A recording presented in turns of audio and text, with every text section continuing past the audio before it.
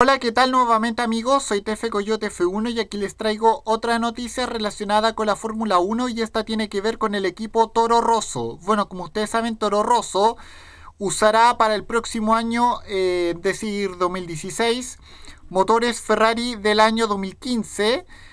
Y bueno, como sabemos, eh, eh, Toro Rosso ya usó motores Ferrari desde el año 2007, desde desde antes, desde después que la escudería debutó en la Fórmula 1 en 2006, de 2007 hasta el año 2013, antes de que llegaran los antes de que llegaran los motores eh, V6 Turbo, que son los motores que utiliza actualmente la Fórmula 1. Eh,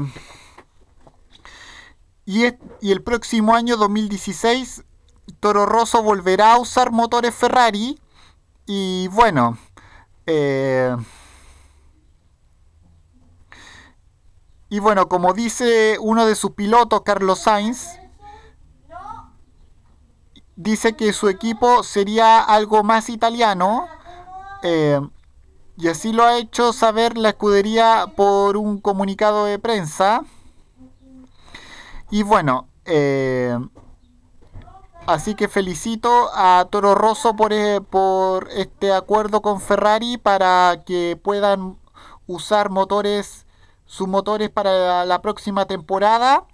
Así que espero que sean tan competitivos que, que la temporada que la temporada que la ya pasada temporada 2015.